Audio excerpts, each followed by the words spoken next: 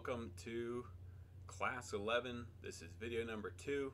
This is going to be the longest video, but uh, maybe the most interesting slash controversial, uh, but I hope we get some good discussion out of it on Sunday. We are going to be looking at the idea of the new heaven and new earth, which is mentioned in Revelation chapter 21 in this video. So, first, let's just read Revelation 21 1 through 4. Then I saw a new heaven and a new earth. The first heaven and the first earth had passed away, and there was no longer any sea. And I saw the holy city, the new Jerusalem, coming down out of heaven, from God, prepared like a bride dressed up for her husband. I heard a loud voice from the throne, and this is what it said Look, God has come to dwell with humans. He will dwell with them, and they will be his people and God Himself will be with them and will be their God. He will wipe away every tear from their eyes. There will be no more death, or mourning, or weeping, or pain anymore, since the first things have passed away. Things that we need to first take into account is the context of Revelation itself. So, this new heaven and new earth is directly related to the idea of the old heaven and old earth fleeing from the presence of God arriving uh, in judgment back in chapter 20 verse 11 so i think that's uh, why why we have these this particular idea in its immediate context. The idea of the bride of the lamb uh, now being jerusalem uh, we're going to explore that in video number three so check that out if, if you want to think more about those ideas. The idea of being in God's presence in His um, temple uh, forever has already been brought up in Revelation as well. So in Revelation 3, verse 12, we have that same idea uh, where the faithful will be able to live in the temple of God as a pillar in His temple forever. In Revelation 7:15, we also have this idea of those who are serving and worshiping God are or before him in his temple, uh, before his throne, uh, forever. Okay. The biblical context of this idea of the new heaven and new earth. So it's not a it's not a new idea that John has just invented. He's actually looking at Isaiah chapter 65 verse 17 and 18 or 17 through 19. So the context of Isaiah 65 starts back in Isaiah 61 where we have this new messianic passage. This is the one that Jesus opens his ministry with back in Luke chapter 4. And so we have this idea of the anointed one proclaiming the good news to the poor uh, and freeing captives and uh, proclaiming the year of the Lord's favor. Now, the line that Jesus doesn't read uh, when he begins his ministry is in verse 2, and it says, In the day of the vengeance of our God to comfort all who mourn and provide to those who grieve in Zion. So God, so Jesus, when he starts his ministry, doesn't uh, begin his ministry by focusing on the day of the Lord, uh, which is coming. Uh, instead, he chooses to focus on the year of the Lord's favor, which is the the idea of the um, year of jubilee. So the the year that everything is is uh, no work and um, all play. So um, it's also helpful to understand that Isaiah has Zion in mind here, and so we'll have to, to keep that in mind as we go through. Um, this continues on, and in chapter 62, we kind of refocus on Zion. Uh, it says, For Zion's sake, I will not keep silent. For Jerusalem's sake, I will not remain quiet, till her vindication shines out like the dawn, her salvation like the blazing torch the nations will see your vindication and kings your glory. And you'll be called by a new name. And so um, we have this idea that, that God is going to um, bring about um, this sort of restored relationship with uh, Zion or Jerusalem.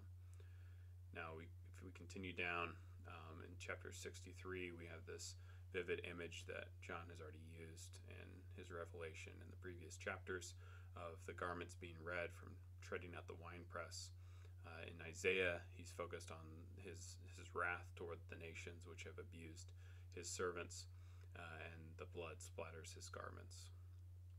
Um, John kind of reinterprets that as Jesus' own blood, um, as he is the slain lamb, uh, and he is self sacrificing himself on behalf of the nations. And so that's why he shows up to the battle in bloody garments. And then we have this immediate juxtaposition as well as anger towards those who are um, hurting his people, and then kindness towards God's people. If we continue down through chapter 64, uh, we see this idea of uh, what's called in Scripture a theophany, so an arrival of God. And uh, maybe one of the most famous theophanies is in Habakkuk chapter 3. Um, very vivid imagery there, but very similar here.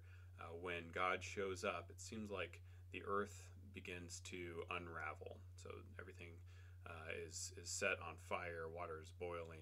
Uh, and the idea is that the presence, the purity of God, the, the intense uh, heat of God's presence, uh, or something like that, um, tends tends to um, cause everything to um, be be uh, burned because God is is so holy.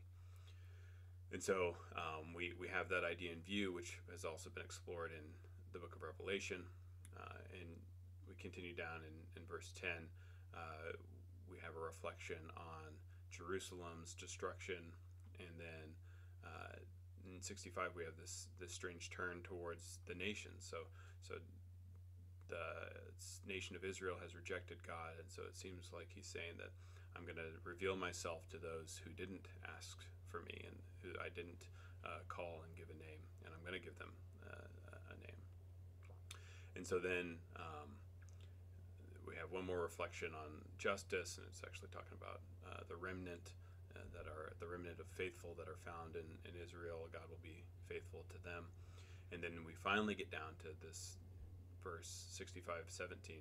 See, I will create new heavens and a new earth. The former things will not be remembered, nor will they come to mind. But be glad and rejoice forever in what I will create. For I will create Jerusalem to be a delight, and its people a joy. I will rejoice over Jerusalem and take delight in my people. The sound of weeping and of crying will be heard in it no more. So all these ideas that John's bringing in Revelation uh, seem to be drawn from from Isaiah, uh, from these passages in Isaiah, and I think that's no accident. John is is reflecting on how, uh, in light of who Jesus is and the persecution that his people are going through, uh, he's trying to reimagine based on what he knows about God, what he knows about uh, God's promises about Jerusalem, and even now in this second destruction of Jerusalem and the temple, uh, what that might look like. And so John, in his reflection, thinks that um, God, you know, as as Isaiah was reflecting on these things, uh, it seemed like things were so bad that we needed a new heaven and a new earth to to restore um, things for for the those living in Jerusalem, so that we could we could rightly deal with the sin, but also have, have some sort of new place for, for these people to live. And so it seems like uh, John is again bringing up this image for similar reasons. So uh, that's, that's where that idea comes from. This actually can be played on more if we look in uh, Hebrews 11 and 12. So Hebrews 11 and 12, um, fairly famous passage, uh, talks about faith uh, but the the idea that uh, I want to focus on is the city of God, and, and so um, it talks about Abraham's faith and how he was looking forward to a city with foundations. Is 11 verse 10, uh, whose architect and builder is God. And then uh, down in verse 16 it says they were longing for a better country, a heavenly one. Uh, therefore, God is not ashamed to be called their God, for He has prepared a city for them. And then all the way in, in chapter 12 verse 22 uh, he's now addressing the, the audience directly. He says you have come to mount zion so 12 verse 22 uh, to the city of the living god the heavenly jerusalem. You've come to thousands upon thousands of angels in joyful assembly the church of the firstborn whose names are written in heaven you've come to god the judge of all to the spirits of the righteous made perfect to jesus the mediator of the new covenant to the sprinkled blood that speaks a better word than the blood of abel this idea of this this new heavenly Jerusalem uh, is is present in, in Scripture. And so John, I don't think he's innovating and doing something new here. He's, he's rather reflecting on, on these concepts uh, that are present at the time and also present in the prophets. So as we think about this passage, we have to put it in, in that kind of context. Uh, additionally, in view is, is a temple theology. And so uh, if we think about uh, maybe Second Corinthians uh, 6, 16, we have this, this idea that God has has come into uh, His people in a new way, and, and, that we are the temple in some sense. Uh, and then there's also the the metaphor of Jesus being the tabernacle. He's the one who comes down and, and dwells among us. Uh, John 1, 14 and, and 14, 23 is, is are, are, both in view here. And then also the, just the idea of the tabernacle itself. So throughout the all of Scripture, that's one of God's main goals is to dwell amongst his people. And so he does this in various ways uh, the tabernacle and then the temple as well. In 1 Kings 8, uh, Solomon reflects on this idea. 1 Kings 8 27, he says, uh, But will God really dwell on the earth? The heavens, even the highest heavens, cannot contain you. How much less this temple that I have built? So we have this idea of, of God's presence being special and uniquely down with Israel, but also God's presence not being able to be contained in any in any one place. Lastly, we should consider the cultural context of all this. So the first thing is we, we notice that the sea is is no longer present. So we talked about this three layer cosmology. Uh, remember, the sea is the uh, chaotic waters, the, the underworld, the depths that are um, always kind of eroding away the land, the structure, creating instability, adding chaos. And so, uh, having having a, a, new creation that doesn't include the sea uh, is the same same idea as destroying the dragon. Consideration for uh, the cultural ideas he, that are in view is this idea of new. And so in Greek, there's there's two main words that they use for for the word new. Uh, one is kainos, and so this this idea of new is what's in view here in Revelation and it's kind of a new in quality or uh, fresh in development or opportunity. Not found exactly like this before. So both the verse 1, 2, and 5 of chapter 21 are all using this, this word new. And that is actually uh, similar but, but different in certain ways than the word neo, neos. Uh, and so neos is kind of a new on the scene. So it's, it's something that's brand new or something new in time. Uh, and so when they talk about the new wine in Matthew 9, verse 17, uh, the new wine is neos, uh, whereas the new heaven and new earth are uh, kainos. Okay, so they're new uh, in quality.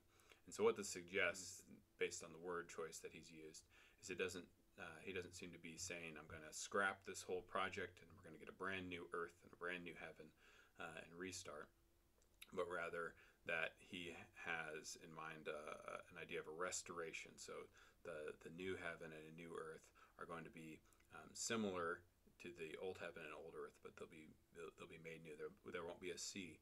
Um, Satan will be destroyed. So there there is going to be um, a, a, new quality in, in some way to these these places, uh, which I think is a, a, very beautiful image of of John's uh, understanding of of the the the the heavenly Jerusalem that's coming down. This this idea of a place where uh, we we need something so so radically different uh, than what we have now, um, but we still honor the created order that, that God has put in place uh, by by understanding that that He thinks it's it's good.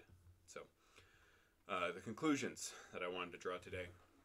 First, um, just remember that John uh, it doesn't seem like he's building any any sort of brand new ideas here he's taking older ideas and he's interpreting them in light of what he knows about Jesus and what's been revealed to him. And so he's fitting all the, the Bible's existent theology and understanding of heaven and earth into the narrative structure that he's built for us. Um, the second thing is that um, I think that we need to uh, take his metaphor for what it is and try and understand it on its own terms. I know we're used to thinking about going to heaven after we die, um, or, or, that kind of uh, idea. Uh, but here, John is talking about after the, the judgment uh, of a uh, heaven and earth being remade, and Jerusalem, the holy city, God's temple, the bride, all coming down out of heaven onto earth, where we can dwell with God and God can dwell with us, and everything will be um, good, good again. So uh, I think we, we need to definitely take some time to digest this. This is a very new idea to you. Um, please don't uh, reject it outright, but consider what John is saying here. Uh, consider how I've, I've characterized it. If you have questions, uh, leave them in the comments. Um, the other thing I would say is that I think that our theologies uh, have been shaped by our culture over the years. And so, you know, we have um, remnants of the Left Behind series, the late great Planet Earth, Hal Lindsey, and uh, even even kind of a Cold War or nuclear war theology in which we could imagine nuclear war destroying the Earth in a similar manner to to what uh, seems to be described in some places in Revelation. And so we kind of thought uh, one way about things, whereas before nuclear weapons were invented, um, that wouldn't have really been an option. So all those things uh, should, I, I, hope, challenge us. Uh, let's try to understand what John is saying here so that we can put it in context and help it as uh, encouragement for us and guidance as we continue to strive toward that heavenly city. Thanks.